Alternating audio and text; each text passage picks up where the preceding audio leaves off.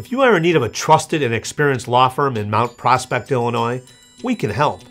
Hi, I'm Steve Malman of Malman Law.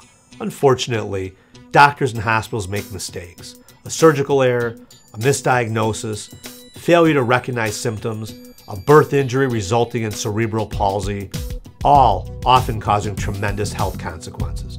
When medical care goes wrong, it's our job to investigate how and why the malpractice occurred and who was at fault.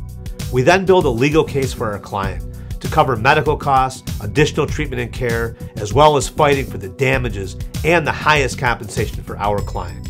If you or a loved one has been a victim of medical malpractice, contact Malman Law immediately.